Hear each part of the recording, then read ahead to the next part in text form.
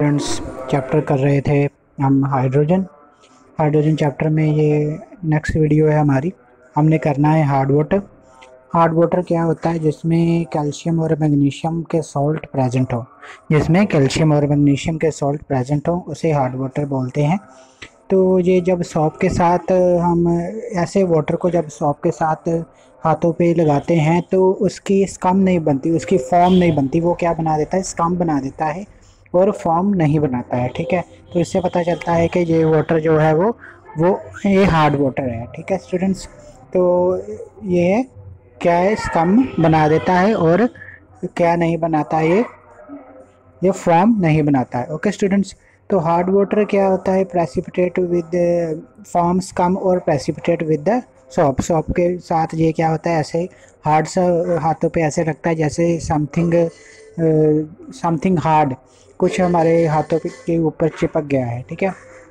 तो ये होते क्या हैं? सॉप हमें पता है कि सोडियम स्टीरेट्स होते हैं, ठीक है? सोडियम सॉल्ट होते हैं।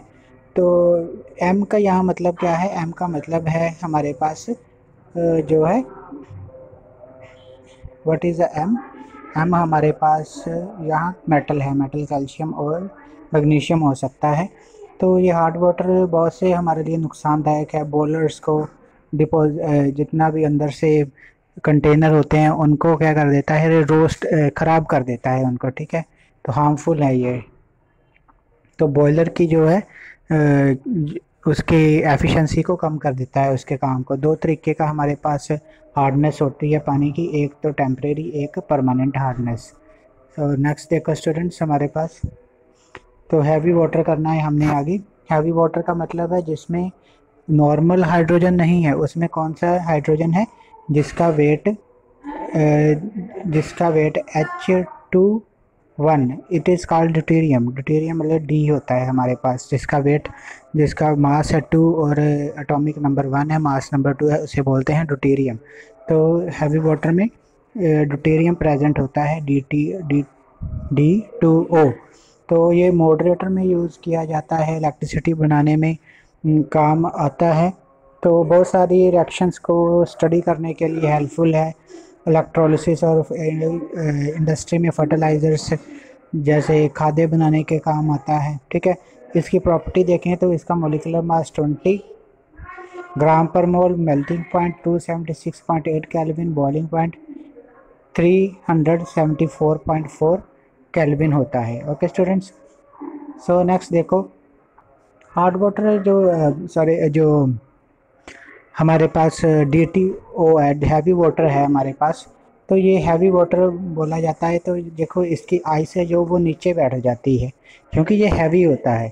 ये आइस ऊपर नहीं तैरती, क्योंकि ये हमारे पास नॉर्मल हाइड्रोजन से नहीं बनी हुई है। हाँ ओके स्टूडेंट्स सो नेक्स्ट देखो हमारे पास di hydrogen as a fuel के डाई हाइड्रोजन हम कहाँ कहाँ यूज़ कर सकते हैं।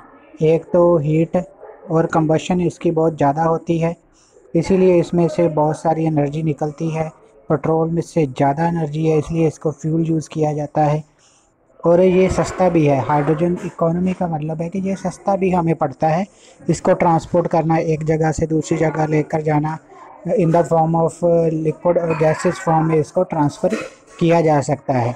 तो एनर्जी है जो इसमें ट्रांसफ़र की जाती है so note as electric power but इसमें एनर्जी हम in the form of dihydrogen के रूप में हम एनर्जी को जनरेट करते हैं, ठीक है? तो it is use in the fuel cells जो हमारे पास फ्यूल सेल होते हैं energy generation of the electric power okay students तो ये था हमारे पास ऑल अबाउट डाई हाइड्रोजन तो ये देखो कहाँ कहाँ हमारे पास यूज़ यूज़ के लिए हमारे पास ये है, ठीक है? सेकंड यहाँ इलेक्ट्रिक पावर के लिए है। थर्ड हमारे पास न्यूक्लियर एनर्जी के लिए है। और, देखो, बहुत सारे इलेक्ट्रोलिसिस स्टोरेज के लिए फ्यूल सेल में यूज़ होता है। तो ये थे सारे के सारे uses of dihydrogen thank you students